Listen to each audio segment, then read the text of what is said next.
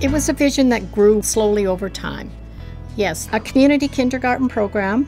And at one point, we were approached by one of the um, clinics in Children's Hospital to see if we would take a child with a severe disability. And at that time, children with disabilities were segregated. And this was a, a program for typically developing children. And, and I said, yes, you know, let's, let's try this. Let's see what, how this would work. And it was amazing. So then the next year, we, we took more kids.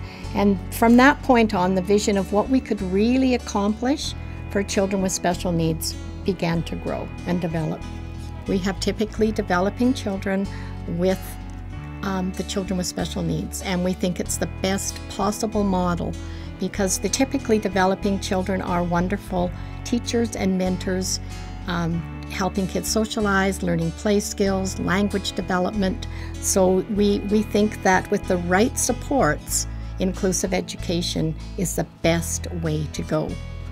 So right from the very beginning, we've had a social worker on staff because we recognized, you know, all those 36 or whatever years ago that families really needed more than just having their children in a safe learning environment. They needed support. So we have a strong family support program that we continually work with families. I think definitely we improve the quality of life for families.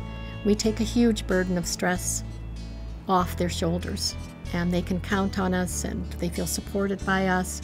They know their children are safe, they're well, well cared for, they're loved here by the staff, and, and it improves the quality of life for, the, for families. You know, seeing the little miracles unfold in classrooms and the little child that can't walk taking their first steps the child that says to their parents for the first time, I love you, or calls them mommy or daddy for the first time. Yeah, I never get tired of those stories. That's what keeps me coming back um, every day. I'm extremely proud of this organization and what we stand for and what we do for children.